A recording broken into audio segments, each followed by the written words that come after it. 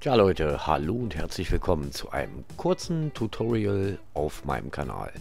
Ich bin in letzter Zeit immer wieder angeschrieben worden äh, mit der Frage, wie funktioniert das eigentlich mit dem Kinomodus? Wie kriege ich da meine Videos in den Online-Speicher? Was muss ich dafür tun?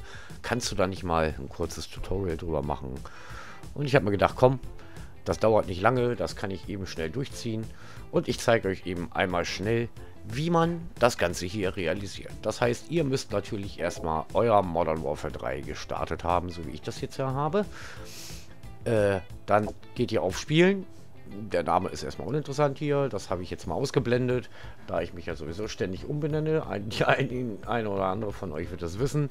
So, was erstmal wichtig ist, ihr müsst den Kinomodus aktiviert haben. Das heißt, ihr geht auf die Quartiere und in den Quartieren auf die Optionen.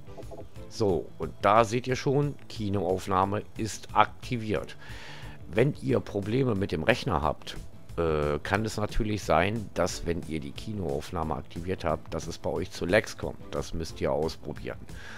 Aber das ist eine Grundvoraussetzung auf alle Fälle, um den Kinomodus zu nutzen. Wenn ihr den hier aktiviert habt, dann ist schon mal die Hälfte der Sache geschafft. Dann geht ihr einfach wieder zurück und äh, Spielt einfach ein Game eurer Wahl, wie es euch gefällt. Und wenn ihr mehrere Runden gespielt habt, äh, werdet ihr feststellen, es hat sich hier erstmal gar nichts verändert.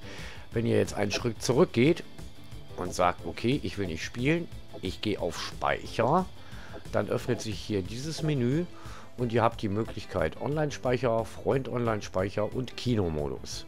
So, wir gehen jetzt hier in den Kinomodus und ich suche mir jetzt hier im Kinomodus das Gameplay aus, was ich haben will.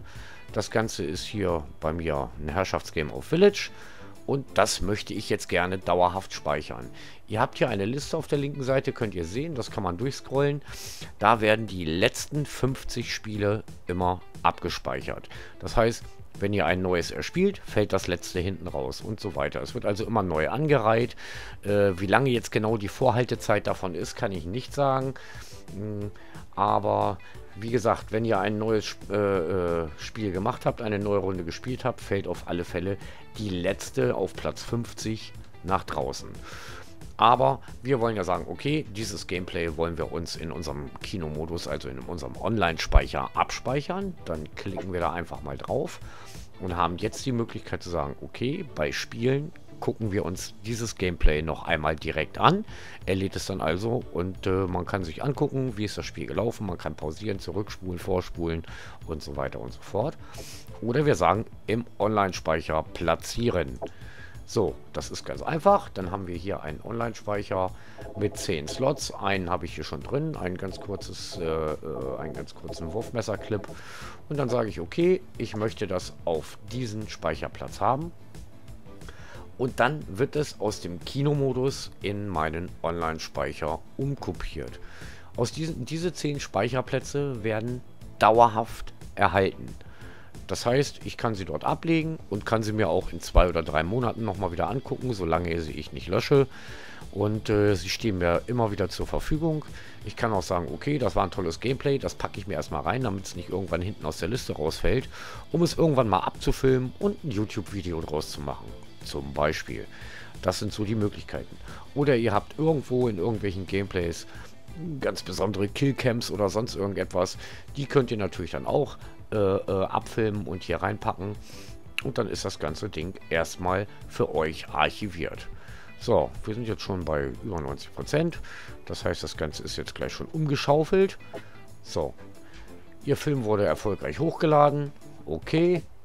Und wenn wir jetzt zurückspringen und sagen Online-Speicher, dann zeigt er mir hier an, aha, mein Village Gameplay.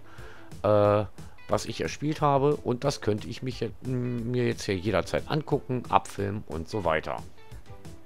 Ja, und dann habt ihr natürlich noch die Möglichkeit des äh, Freund-Online-Speicher und alle, die bei euch in der Freundesliste MW3 spielen, die könnt ihr natürlich dann hier auswählen und hier ganz, ganz locker drauf, drauf und euch die Gameplays von euren Freunden angucken, die sie in ihren Online-Speicher gepackt haben.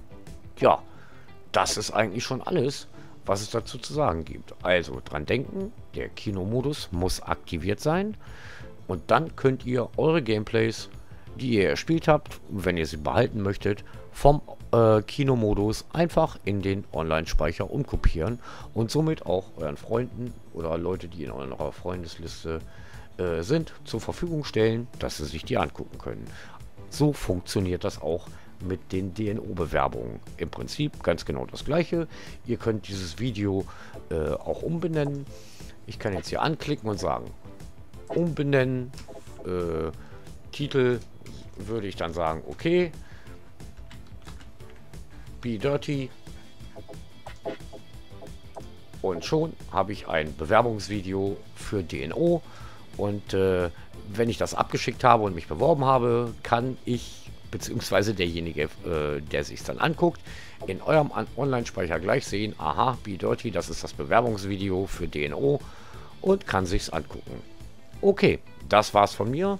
Ich hoffe, äh, ihr habt es kapiert. Es ist eigentlich ganz einfach und die Frage zum Thema Kinomodus Online-Speicher hat sich damit erledigt. Also viel Spaß beim Aufnehmen. Bis dann, ciao, euer Dirty Harry.